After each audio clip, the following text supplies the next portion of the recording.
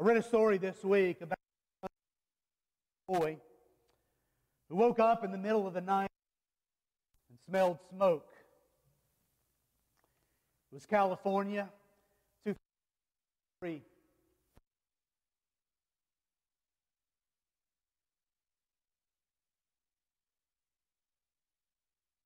Mom and dad got up and sort of investigated the house, and everything seemed fine inside.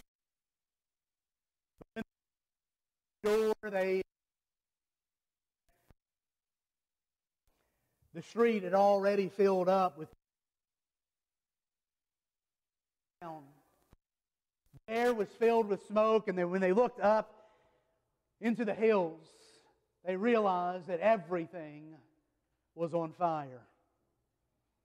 Later, they realized that they were in the midst of what came to be known as the worst wildfire in the history of the state of California. Interestingly enough, I learned some things about wildfires that I don't think I'd ever knew before. The wildfires, wildfires, Larry, could get up to temperatures of over 2,000 degrees, could melt even metal. And that wildfires sometimes can travel as fast as 60 miles per hour.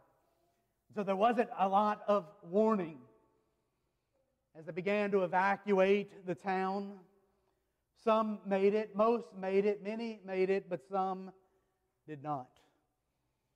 Horrifying stories from this wildfire and other wildfires that racked that part of the country and other parts of the country seemingly every year, sometimes worse than others. There are places in the country, even at this very moment, I believe in Oregon and other places, that are battling wildfires even as we speak. One horrifying story that I read about about a family trying to get away. And they were surrounded, they could not get away, and so they sought shelter in their swimming pool. They did survive, however, it was a terrifying experience as they were surrounded by fire on in every direction. They were just feet away from watching their house disintegrate into ashes, fearing that they might either burn to death or boil to death in the pool. The heat was getting so hot. As I said, the wildfires could spread with very little notice. There's not a lot of warning, at least here on the Mississippi Gulf Coast with a hurricane coming. At least we have a little bit of warning. But here we are in 2 Peter chapter 3, verse 10. And the apostle Peter is sounding an alarm. He's saying there is a dire devastation that is coming. And we need to sound the alarm. Now, for those of us who are believers, who are Christians, who have been saved by the finished work of Christ on the cross, we know that we are safe from this day of destruction that Peter is reminding us of. However, I'm going to ask us to save that rejoicing for another day. Because not everyone can rejoice. There are those, even though the sound is going out of the alarm, they are turning a deaf ear to this warning that Peter has for us in the pages of Scripture this morning. Let's look at it closely this morning. And I want to do as we typically do, sort of pick it apart and suck as much meaning out of the text as we have this morning. And so, as we have turned this morning to 2 Peter chapter 3, verse 10, I want you to hear what Peter says. It begins by saying, the day of the Lord will come. The day of the Lord will come. Now, of course, that begs the question what does Peter mean by the day of the Lord? Now, his original hearers would have been very familiar with this terminology of the day of the Lord. And if you're familiar with Scripture, you ought to be familiar with this terminology, the day of the Lord. It, is, it comes up quite often in both the Old Testament and in the New Testament. I'm not going to take the time to sort of trace out all of those references and click on all of those links and, and look at all the things that the Bible says about the day of the Lord. There's a, a lot that, it, that, are, that is said that would take us a while, and, and to be quite honest, it gets a little monotonous at times. And if you look at it real closely, it gets a little bit confusing. Now, the big picture is very clear. And that, that's where I want to focus on this morning. Very clear. But I have to mention, to be quite honest with you, if you look at all the details, it gets a, a little bit confusing, and you have to kind of untangle the knots because I, will just briefly mention a couple of those difficulties that you have to kind of spend some time untangling. Because if you look into the Old Testament, many times in the prophets, when they're talking about the coming day of the Lord, you wonder what is the day of the Lord? They were talking in their day about a coming day of destruction that culminated in 586 BC when Jerusalem fell.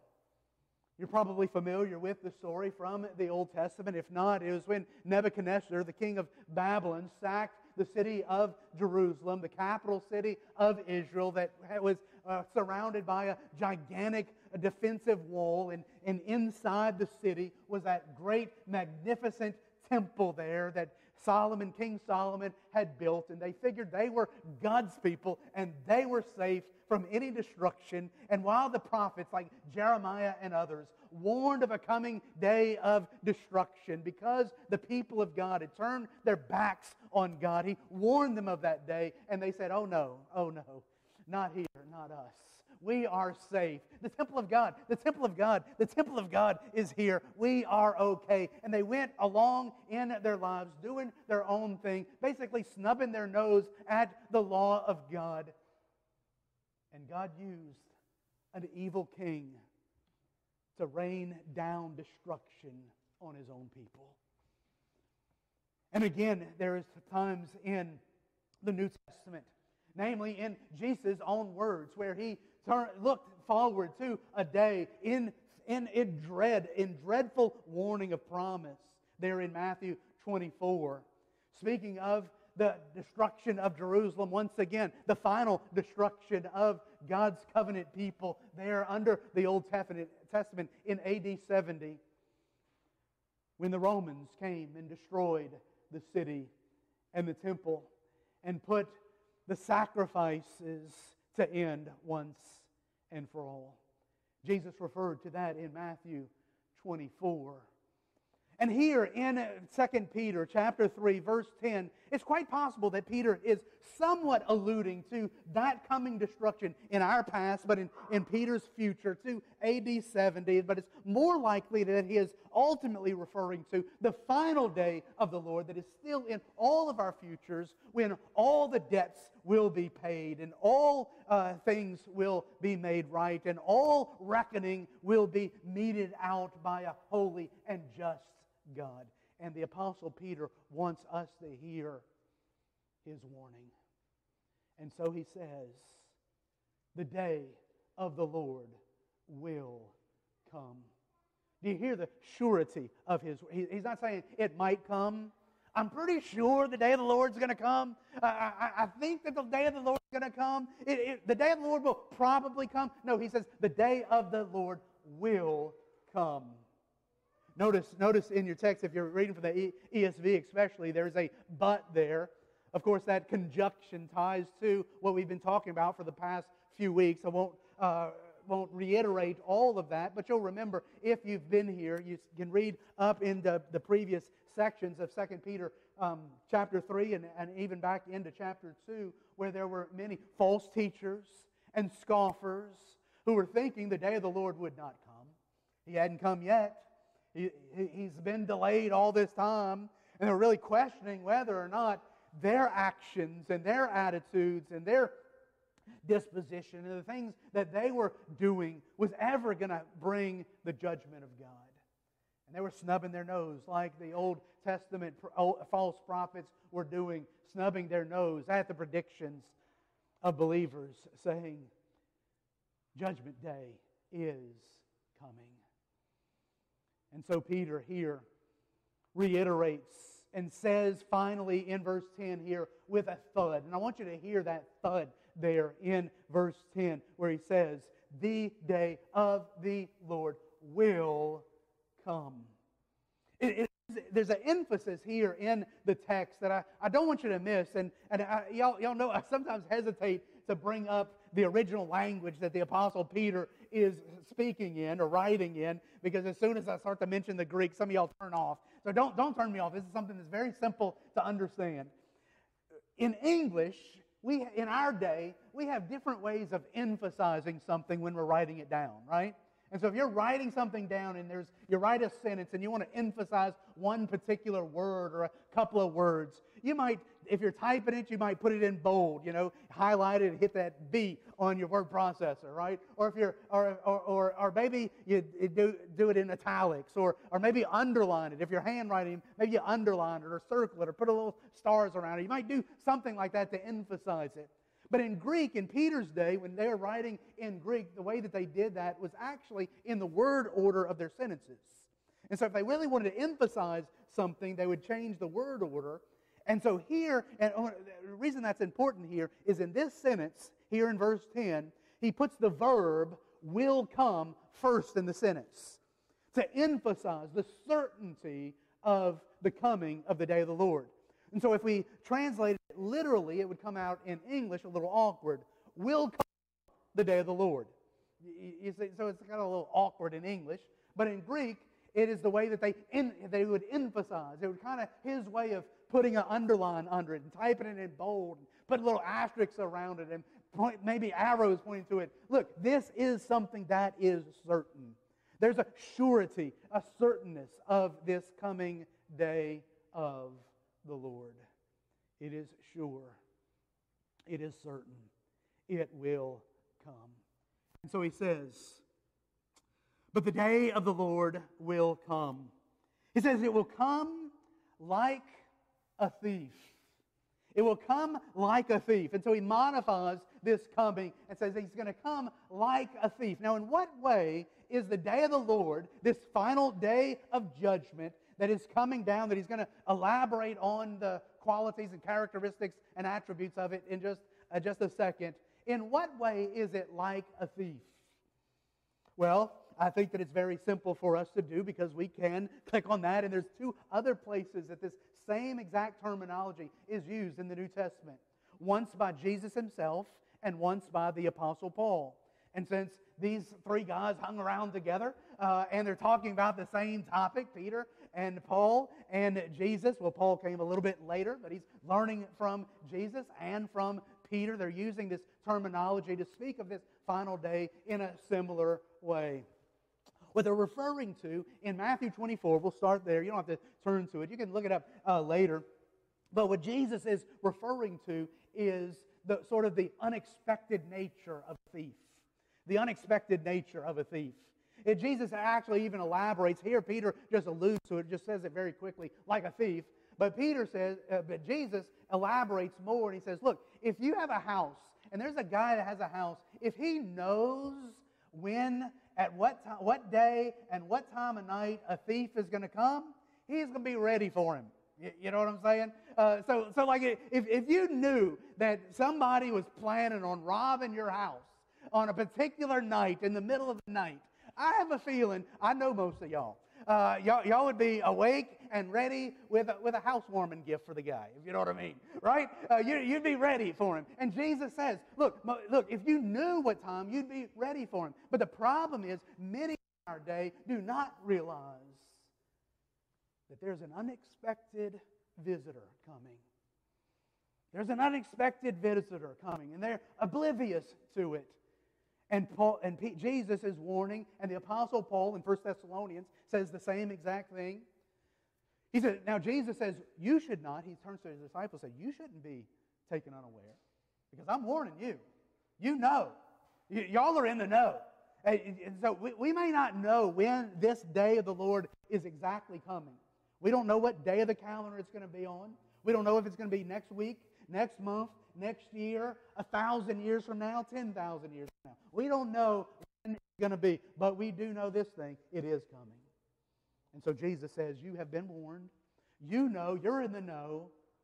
But the tragedy is that there are many who do not know. And they're going to be taken unaware. They don't realize, and they're going along their merry way and thinking that everything is fine and dandy, and they are crying out the, the, the, uh, uh, uh, a mirror, the, an echo of what the Old Testament uh, people were saying the, the, the temple of the Lord, the temple of the Lord, the temple of the Lord. Everything is fine. We have peace. We have prosperity. Everything is good. God hasn't punished us yet. We're living our life. We're having parades. We're doing our thing. God doesn't seem to mind. He's up in heaven or wherever He might be. He doesn't take any mind of us. We can just keep doing what we're doing and we will be good. Peter says, The day of the Lord is coming like a thief. You don't know what hour, you don't know when, but I can guarantee you one thing He is coming. One of the Old Testament prophets said, said it like this. He said, he said It's kind of like the guy who is out in, in the city streets and there's a lion chasing him. And so he knows there's danger. There's a lion. And he runs from the lion. He comes in his house and he closes the door and he locks the door. And now he thinks he's safe. I'm fine. I'm in my own house. The lion's out there. I'm in here. I have a good door. I have good walls. I have good windows. I'm protected. There is no nothing that can touch me. I am home. I am safe. I am secure. And about that time, a snake bites him, and he dies. He says that's, that's what many are like. They think they're fine. They think they've escaped danger. They've heard the warnings. They've heard the, the, the, the, uh, the, the uh, tornado warnings. They've heard the, the, the warnings coming in over the radio, and they've heard the emergency management uh, announcements, and they think that they are safe. Yet, Peter says, the day of the Lord is coming, and it's coming like a thief. There's a certainty to it, and there'll be a suddenness to it. And it's going to take them by surprise. Peter's warning us, though, it shouldn't be taking us by surprise, but it will take many by surprise. Let's continue to look at what he says about this coming day of the Lord. Not only is it like a thief, that's the first thing that, that he says, but then secondly, he says, and then the heavens will pass away with a roar the heavens will pass away with a roar. Now, uh, when I say that word roar there, you might immediately think of lions, especially since I just mentioned a lion just a moment ago. I don't think he's talking about a lion. I think he's, he's, he's, he's going to be talking about using the uh, imagery of fire here in a minute. And so he's talking about the raging of a fire and the noise of a fire.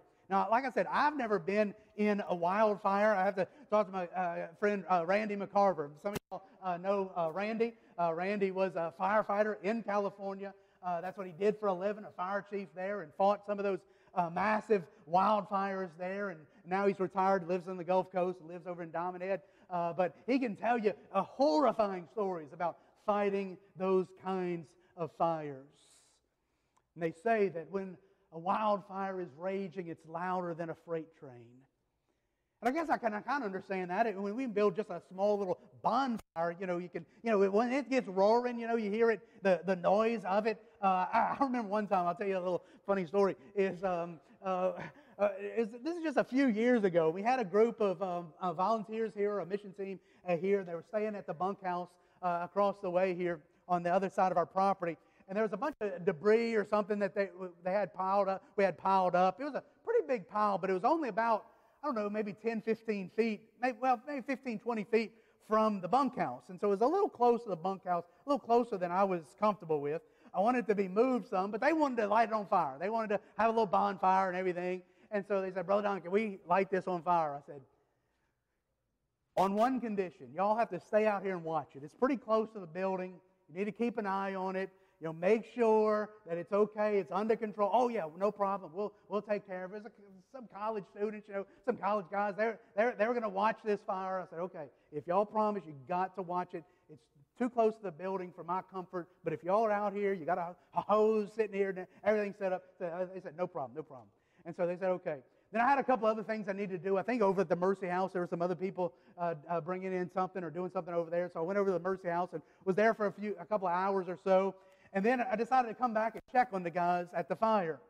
Well, I got about halfway across the parking lot, and I could hear this bonfire just ripping. I mean, you know, you could hear it from maybe 200 feet away. You could hear it just roaring. And I got around the side of the office and I got back there, and there was flames shooting up from this bonfire, taller than the building, taller than the bunkhouse, maybe 25 feet high, and not a soul around. No one was there. I'm like, what in the world? And so I sat there, watched the fire, had the hose with me and everything, and it finally, after a couple of hours, died down. And here the guys come around the corner driving up in their, in their vehicle. They had went to the beach. They said, oh, you got it started? I'm like, no, I didn't get it started. they, I said, y'all started. They said, oh, no, we tried and tried. It never got started. I'm like, oh, yes, it did. they had walked off. But I tell you all that story. I guess I told you that whole story just so that I could say from 200 feet away, I could hear that bonfire roaring. So, and that was just a relatively small bonfire. Can you imagine a, a, wildfire in California or in some other part of the country that's, that's consuming, that we see on TV here, for hundreds of acres of land on fire, with a fire running through the, the, the landscape at 60 miles an hour? I can't even imagine what that sound would be like. But that's nothing in comparison to what Peter is painting a picture of here in our text this morning when he says, The entire heavens are ablaze, and the entire universe is on fire. And there is a mighty, deafening roar. He is wanting us to have terror in our hearts as we hear him using the strongest language possible to speak of this dreadful day of the Lord that is coming that is sure to come. You, you get what I'm trying to say? He's wanting us to hear the gravity, the seriousness. The, the, the, uh, it, it is a scary sight. The heavens are passing away, and there is a mighty noise, a great of fire. Says that's not all. And then he goes on and he say, and the heavenly bodies will be burned up and dissolved. The heavenly bodies will be burned up and dissolved. Your translation may say the elements instead of heavenly bodies, which is a very interesting, interesting word here, word choice that Peter uses.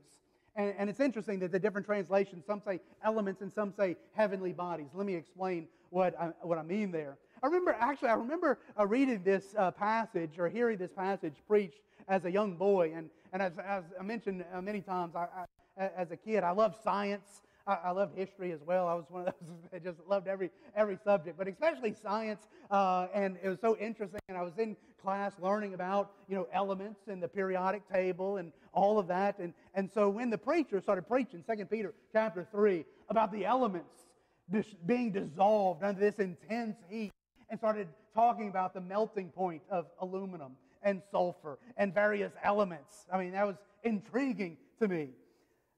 However, I hate to tell that, that pastor, that I, preacher that I had 30, 40 years ago, that this word elements is not the periodic table. That's not really what Peter is getting at uh, here.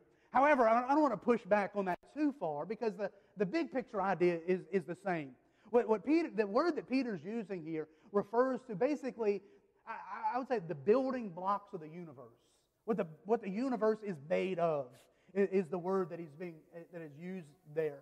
And so, in, in, depending on what circles that you're ta- looking at and looking at some extra biblical literature, sometimes they would use this word to refer to like the sun, the moon, the stars, you know, the, the building blocks of the universe, everything that exists, the earth, everything that exists. That's the elements.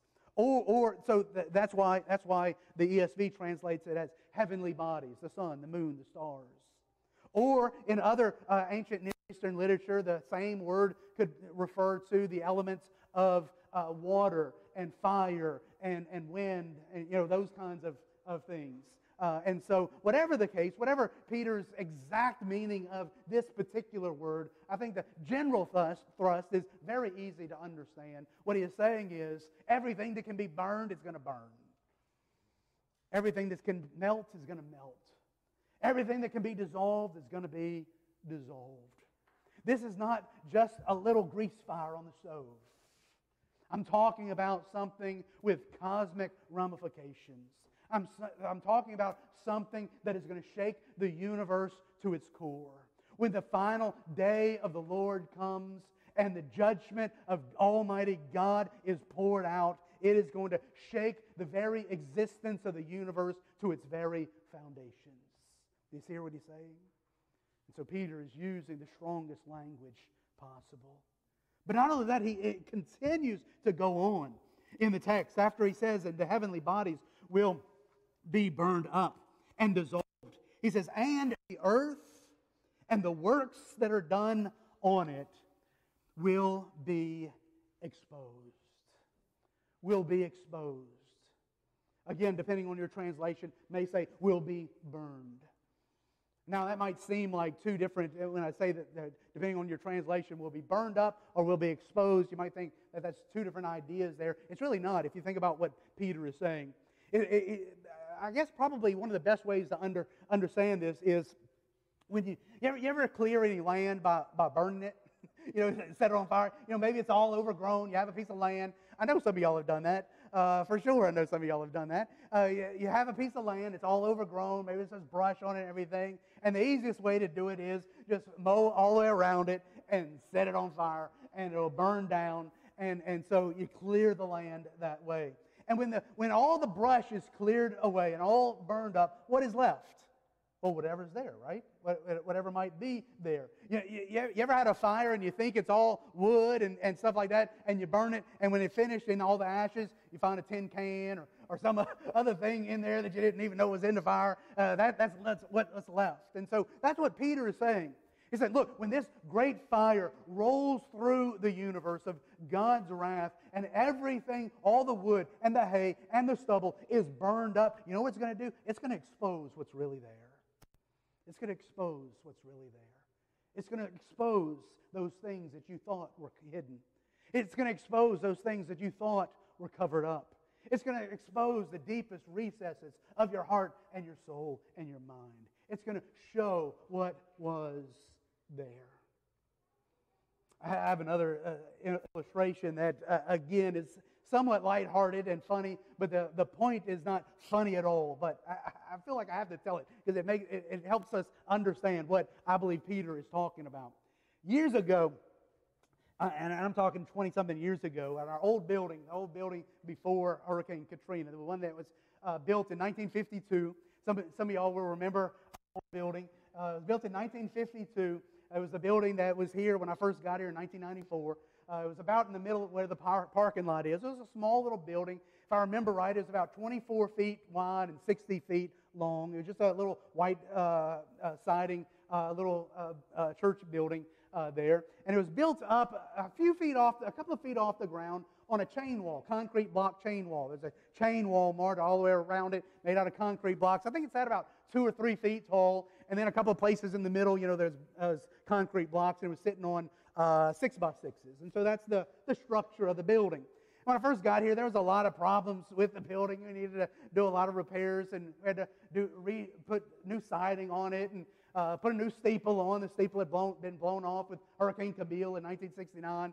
We put a new steeple on. But one of the more difficult problems and, uh, was that we had a, basically an erosion problem or a sinking problem, one or the other, underneath the building in the middle of that chain wall. So there was a brick, think about a concrete block, block chain wall about two or three feet, uh, two or three blocks tall, and the building sitting on top of it. And underneath the building had kind of sunk deep, deeper than the surrounding land. And so you can imagine what that does around here when it rains, or basically any time, because it's usually almost always wet.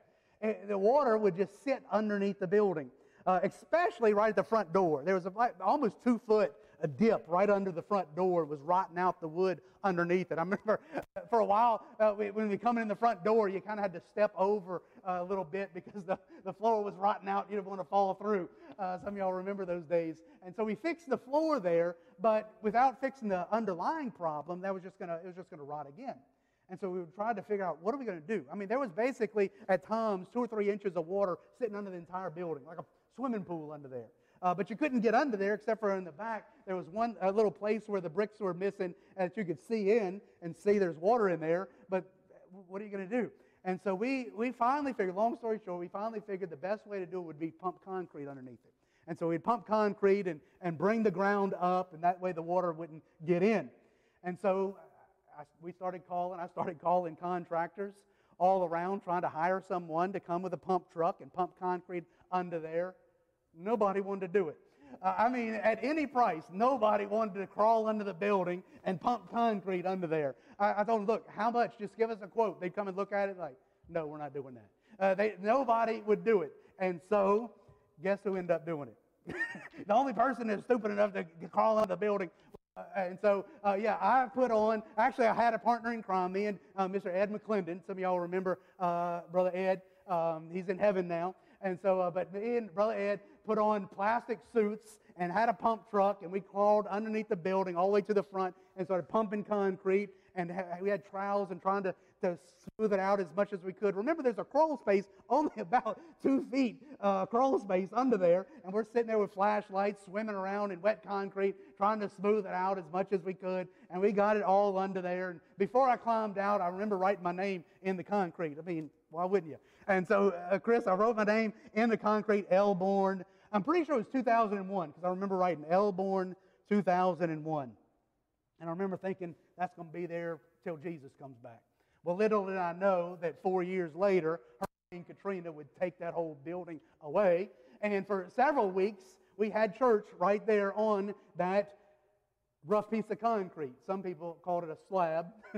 and uh, and people were, news was getting around the country that we were having church just on our slab. And when people would come, they started walking around that slab, Mart, and it was, I mean, the concrete was like this. I mean, you could imagine uh, trying to smooth concrete, finish concrete, lay it on your belly, swimming, and it was, the concrete was like this. And I remember many guys looking at it and saying, man, who poured this slab?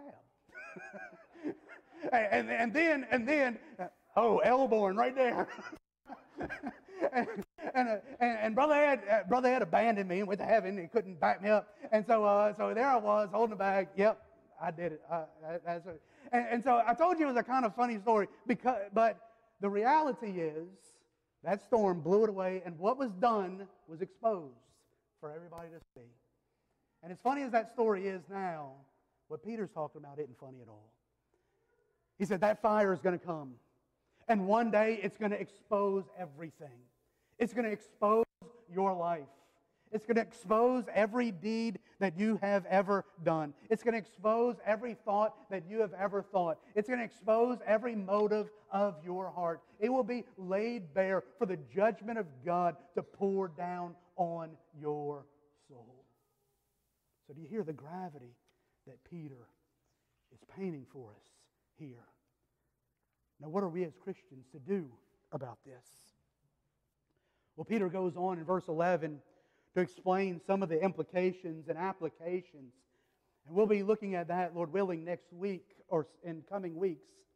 But I want to, at this point, as in conclusion, to link over to a sister passage in Jude. If you want to turn to it, you can, eh, but I'll just read it for you. In Jude, which is only one chapter in Jude, and I think I've mentioned this a couple of times before. Jude is very similar to 2 Peter. It's almost like it's a lot shorter, but Jude, it's almost like Jude and Peter are using the same outline, but you know, using a lot of different words and everything. They're kind of tracking along the same thing. And at this point, where Peter is, is elaborating on this coming destruction for the ungodly, listen to what, and, and the, in the face of the doubters and the scoffers and the mockers, listen to what Jude says. I think this is very important. Listen to what Jude says in verse 22. I'll start with verse 22. He says, and have mercy. This is what you, we as Christians ought to be doing. And have mercy on those who doubt. So there are doubters, there are mockers, there are scoffers who say the judgment of God is not coming. What are we to do in light of that? He says, have, have compassion on them. Now, our, our natural tendency is to want to bow up and argue, right? And I, I have a lot, of, a lot of pastor friends of mine that they say, hey, it's time to fight. And yes, there is a time to fight. But the weapons of our warfare are not carnal, but they are mighty. And the way that we fight this battle is by showing mercy and compassion to those who just don't get it yet, whose eyes are still blinded to the truth, who ear, whose ears are still stopped up to the gospel, whose hearts are dead to the things of the Lord. We are to have mercy and compassion upon them. And it plays out like this. Look at verse 23 in Jude. He says, And save others by snatching them out of the fire. That's the language that I wanted to pick up on. Snatching them out of the fire. Peter says, There is a fire coming. There is a day of the Lord coming that is going to burn this universe with a mighty roar and melt the very elements of existence down to nothing. And the only thing that is left are those things that God's judgment will be poured out upon. And as we smell the smoke, what are we to be about? Snatching people out of the fire. That's what we're doing here. That's what we're doing here. That's what, it, that's what it's all about. Snatching people out of the fire. I mentioned my, my friend Randy McCarver just a moment ago. He told me a story. I think it was Randy. I don't want to misquote him. I might have picked this story up by, from someone else, but Randy's the fireman, and he's the one that tells the fireman stories. And, and, just, uh, uh, and so I think it was Randy that told me this story about going to a fire one day. And the house was engulfed in flames.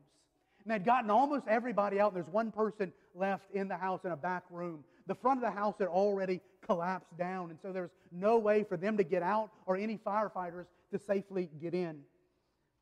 And time was running out. The, the beams of the roof rafters were starting to crack. And so Randy went around the sod and, and used a chainsaw and cut a little hole in the side of the house and reached in and pulled the person out right before the house collapsed under the weight of the burning flames. That's the image that I have in my mind that Peter is talking about here and that Jude is talking about here. What our responsibility as believers are that we know that the, the, the, fire is coming. We know the day of the Lord is coming. It is, it is our duty and responsibility to snatch them out of the fire. That is why we preach the gospel. That is why we herald the good news. That is why we meet together and proclaim the good news of Jesus Christ that while there is judgment day coming, there is a way of escape. We need to be like evangelists in Pilgrim's Progress who is shouting the message of John the Baptist flee from the wrath to come, flee from the wrath to come, flee from the wrath to come. We tell the good news. Well, first we start with the bad news that there is a judgment day coming.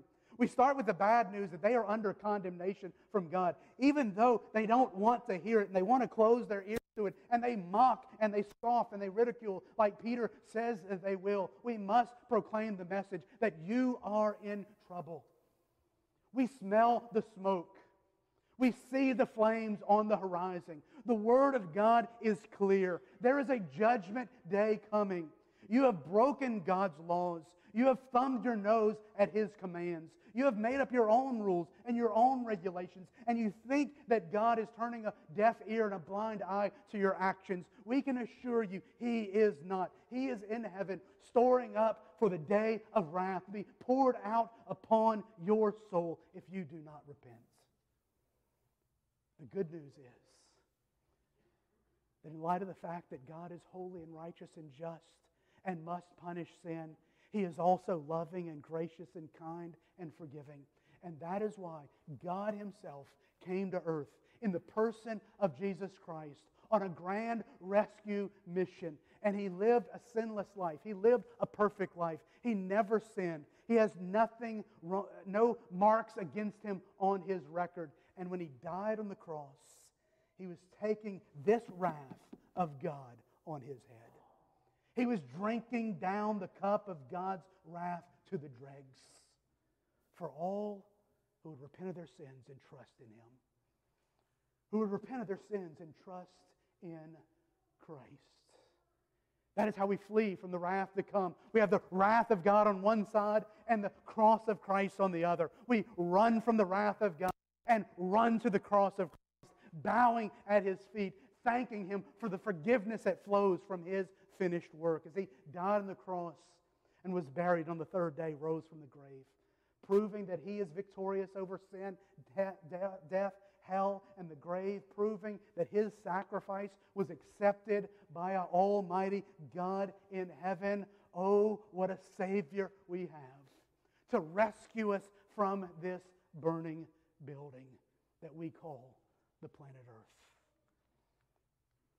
Peter's words here are clear. The day of the Lord will come. Let us, as believers, snatch our brothers and sisters, our parents, our children, our neighbors, our co workers, our family and friends, as many as we can from our community, snatch them out of the fire for God's glory. Let's pray. Dear Lord God, I do thank you for your word. We thank you for this reminder, the gravity that Peter reminds us of, of this coming day of the Lord. Whenever it may come, we know it will come. And between now and then, we pray that we would snatch souls of men and women, boys and girls, out of the fire. In the name of Jesus, we pray these things.